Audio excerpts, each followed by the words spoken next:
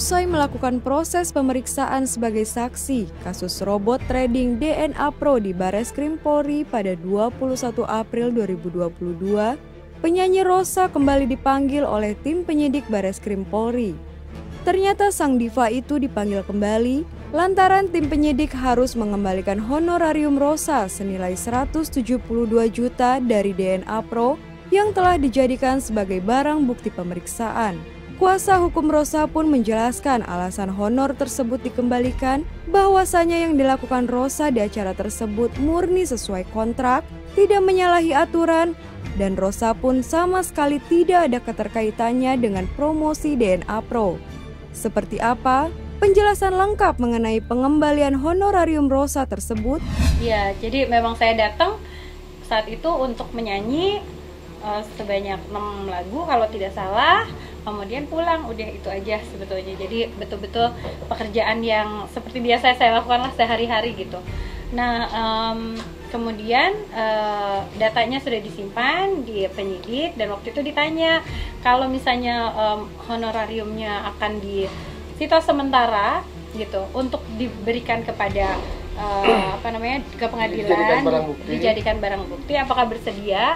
Saya bilang saya bersedia tapi saat itu juga saya nanya boleh nggak saya tahu kenapa gitu tapi dijelaskan dengan dengan jelas juga dan saat itu um, jumlah uh, honorarium saya dipotong dulu untuk kepentingan operasional yang kemudian jumlahnya seperti yang udah diberitahukan oleh uh, Pak Humas yeah. ya saat itu.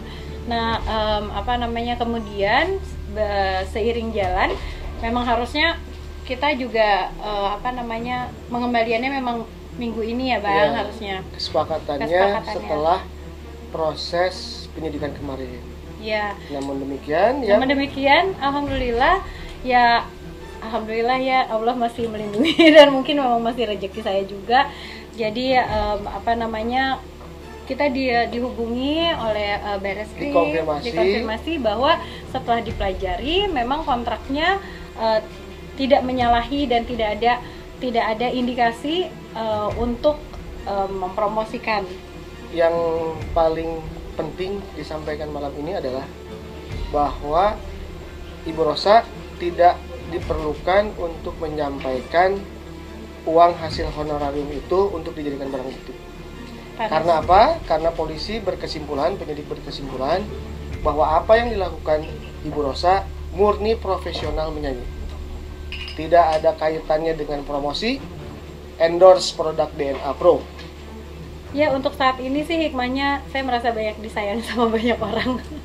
Karena karena banyak sekali teman-teman yang memberikan dukungan juga kebetulan dan dan saya juga merasa apa ya surprise gitu ya. Maksudnya dengan kecepatan dari uh, bapak-bapak di kepolisian gitu ya. baris krim yang secara profesional. gitu. Ini kalau kalau begini ya begini kalau begitu begitu. Karena dari awal saya juga udah bilang saya bersedia gitu. Kalau seandainya apa pun yang apa pun yang ini saya akan mengikuti dengan apa yang memang harus dilakukan gitu. Dan kebetulan kemarin langsung dihubungi lebih cepat.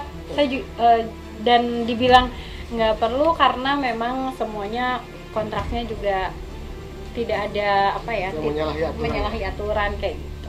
Jadi saat itu memang dihitung di sana.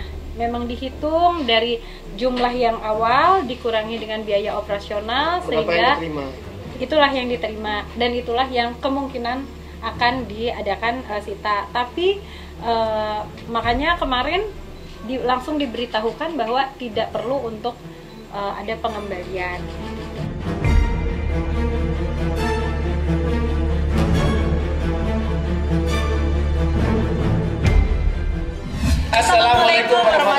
wabarakatuh. Untuk teman-teman semua, selamat menjalankan ibadah puasa. Selamat menjalankan ibadah puasa. Semoga di Ramadan tahun ini puasanya lancar. Kalian diberikan kelancaran dan bisa ketemu puasa-puasa tahun berikutnya. Dan ibadahnya diterima Allah Subhanahu wa taala. Amin. Minal aidin wal. Mohon maaf lahir dan batin. Untuk mendapatkan berita terupdate, jangan lupa tekan tombol subscribe, like, comment, and share, dan jangan lupa juga tekan tombol loncengnya. Saksikan terus Rasis, more artis dan selebritis. Bukan gosip, tapi fakta.